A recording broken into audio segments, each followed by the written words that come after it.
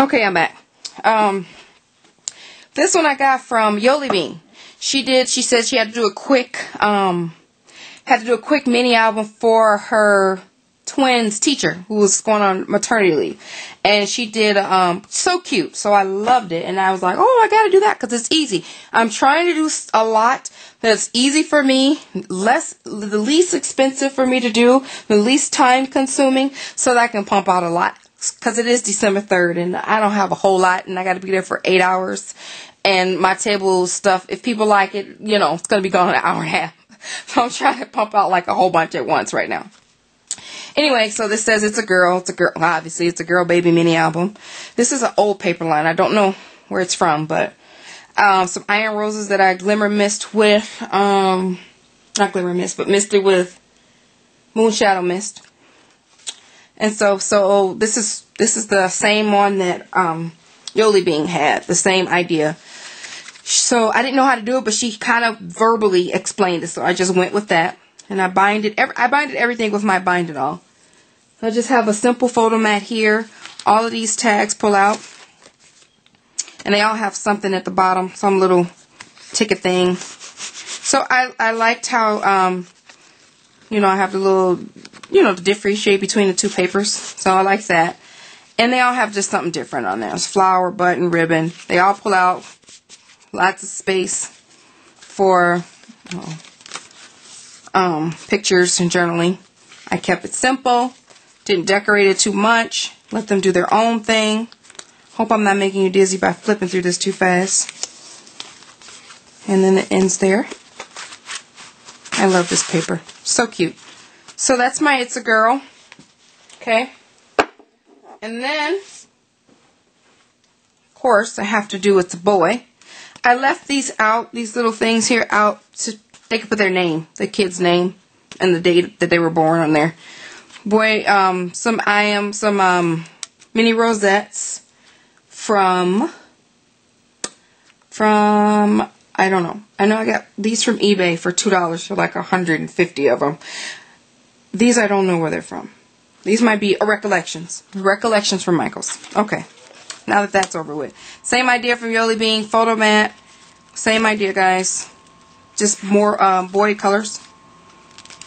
Maybe that purple is a little meh, but still nice. Purple's in the paper, so I kind of use that. So anyway, thank you, Yoli Bean. Thank you, Roxy Fur. Thank you, Drew Care. Drew. Your name? Drew Michael um, Laura following a paper trail, stamping Up. Um, just a bunch of people. Some of these ideas were mine too. I, I didn't show y'all everything, but anyway, thank you guys for watching. Let me know what you think. If you weren't already, here's the question of the day. If you weren't already a scrapper or paper crafter and couldn't make all of these cards and, and stuff like that, would you buy a mini album at a craft fair for like 15 bucks if it had, you know, oh, the theme that you wanted and everything. And then, you know, card stack. Any ideas, guys, for stacks of cards that I can use um, that make, you know, so I can get some more packs of five. I'm selling them in packs of five because it's easier, I guess. No, but I don't know. I wouldn't want to buy 25 cards at a, you know, thing. So I just figure everybody stacks of five. I don't know any ideas you guys can help me out with with um, mini album themes or you know what what would you what would you want to see? Um, i need some help so otherwise i'm gonna keep producing the same things that i'm doing just in like massive quantities. So i have the it's a boy it's a girl. Oh i do i am working on um let me go grab it. Kathy over at paper phenomenon. Hold on guys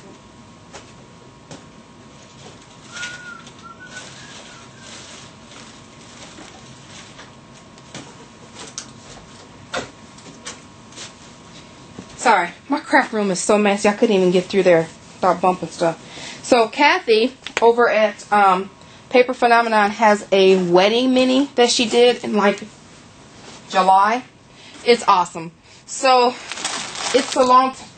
I mean, I can't just. I have to watch the whole video and wait and pause it and do it. So it takes me forever. But this is as far as I've gotten. I don't have um the some of the stuff she has like the gypsy files or whatever, but I'm working with what I have. So I did get this far. to do the outside cover. And then I got through the pillow, which opens up like that, which is cool. That goes on like one of the pages like this. So you open that up and then you can still do that. Anyway, you guys go check her out, Kathy Paper Phenomena, and you can see what I'm talking about. But this flips, how does this work? This is a pocket here, pocket there, and then um, I think it's bound, I can't get it together. I think it's bound, I don't know, I'm not that far yet, but I think it's bound like this and it opens up and flips. Anyway, so this is as far as I've gotten. I don't think I'm going to, this is the only one I'm going to make of this. This takes too long too long for my time because I only have when the kids go to bed to like midnight and then I have to get back up at 5:45. So it's like three and a half hours. So anyway, but I got this far, so I'm so proud of me. I might just because I'm strapped for time, I might just like end it right here if I can figure out how to bind it. If I get that far, figure out how to attach these two to the bottom. But um, guys, I might just end it like right here call it a day. I don't know. We'll see. So I was working on that. Anyway, if you have um, your suggestions for the things that I asked about the other stuff, please leave a comment, send me a message. I'll take all ideas. I take all ideas. So anyway, see you guys. Thanks for the inspiration. You guys are awesome. Bye.